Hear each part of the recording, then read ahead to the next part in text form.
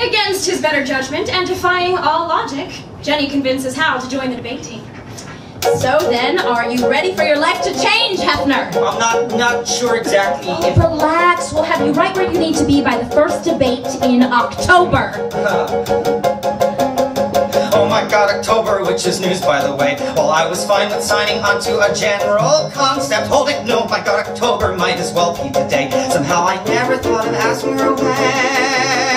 I can't do October, that's disturbingly soon. If the thing were in the spring, I would take my chances. I could work my way from awful up to awkward by June. And then in 2048, we could debate on the moon. I bet you I'd be halfway decent by then.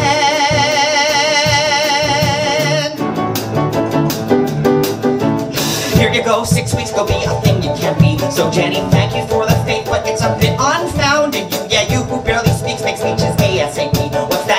That? You say you're claustrophobic, come spelunking with me. What kind of super crazy thinking is that? Oh my god, October, I did not think it through. Because she sorta has a way of delaying thinking. Yeah, but now that I am sober, what the hell did I do? And will she leave me in October when they leave me in two?